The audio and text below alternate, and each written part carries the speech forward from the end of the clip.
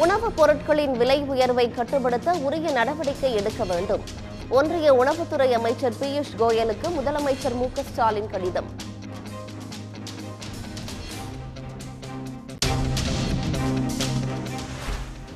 பொது சிவில் சட்டத்திற்கு திமுக கடும் எதிர்ப்பு. சட்ட ஆணையத்திற்கு திமுக பொதுச் செயலாளர் துரைமுருகன் கடிதம்.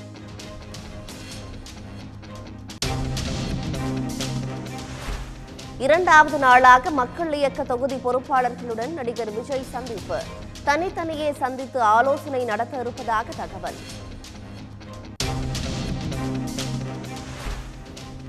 சென்னை கோயம்பேடு அங்காலியில் தக்காளியின் விலை தொடர்ந்து அதிகரிப்பு. சின்ன வெங்காயம் ஒரு கிலோ இருநூறு ரூபாய்க்கு விற்பனை.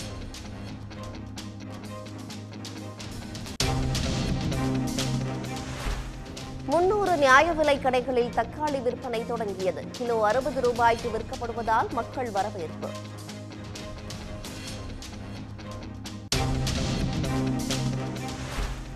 பட்டுக்கோட்டை திருச்செங்கோடு மானாமதுரை உள்ளிட்ட இடங்களில் தென்னை விவசாயிகள் தேங்காய்களை உடைத்து போராட்டம்.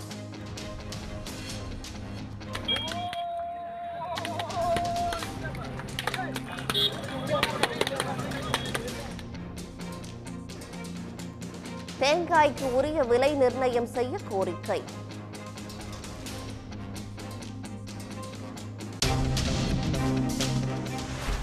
விளையாட்டு வீரர் வீராங்கனைகளுக்கு ஊக்கத்தொகை வழங்கினார் முதலமைச்சர் மு க ஸ்டாலின். மனை மேம்பாட்டு திட்டத்தையும் தொடங்கி வைத்தார்.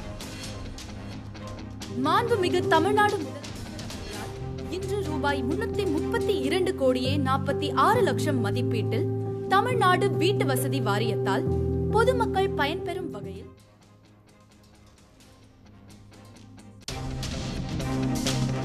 ரயில்களில் தீபாவளி பண்டிகைக்கான டிக்கெட் முன்பதிவு.